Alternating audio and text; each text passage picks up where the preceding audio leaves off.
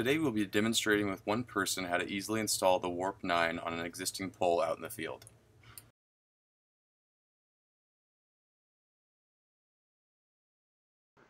Step 1. Pull the field wires through the pole and out the top.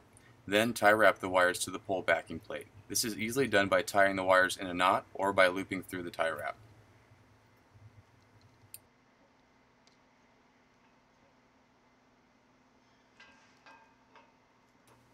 Step 2. With one hand, slide the backing plate into the pole, lining the threaded holes of the backing plate with the holes in the pole. Now, by hand, screw your 3 8 bolt into the bottom hole of the pole and backing plate and tighten with the 9 16 socket wrench.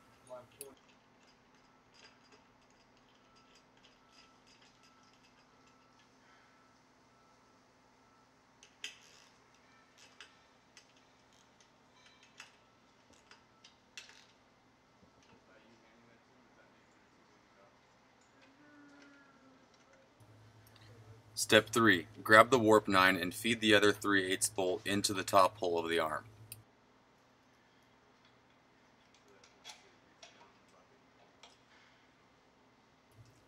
Step 4. Feed the fixture wires into center hole of the pole and out the top of the pole.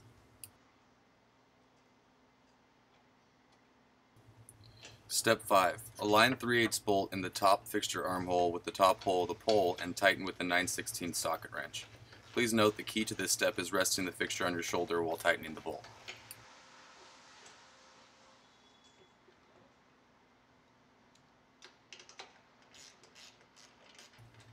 Step 6. With your 9 16 socket wrench, remove the 3 8 bolt from the bottom hole.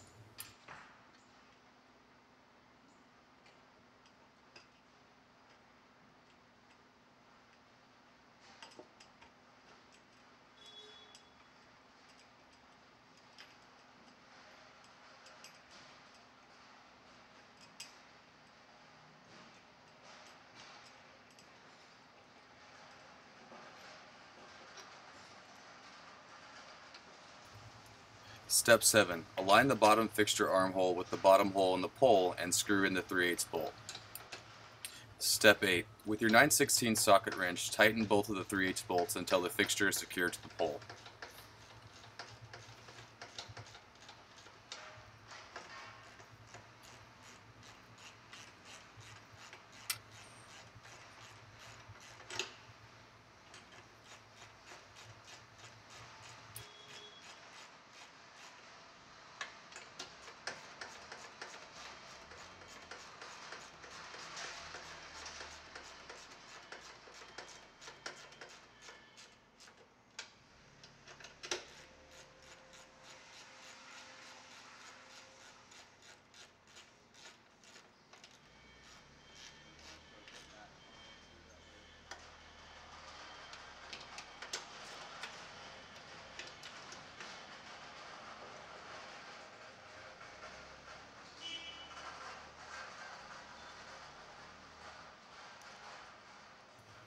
Step 9.